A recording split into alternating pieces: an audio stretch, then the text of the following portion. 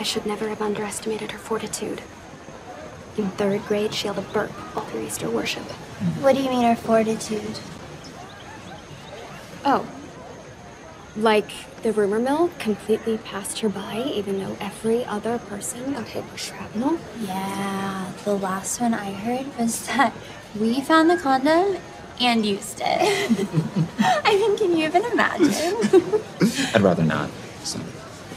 Well, maybe Sterling is lucky. Some people in the world just are. I don't believe in luck.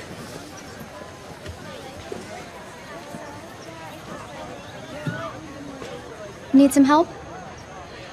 I miss the days of just trash. Right?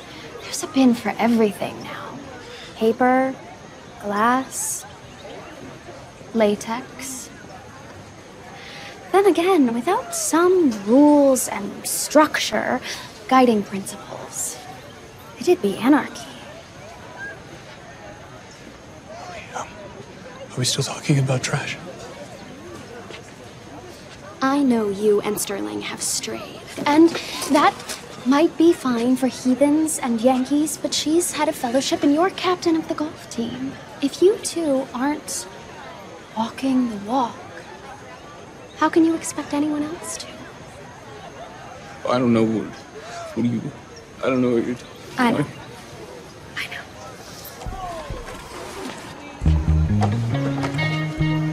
know. Let me explain.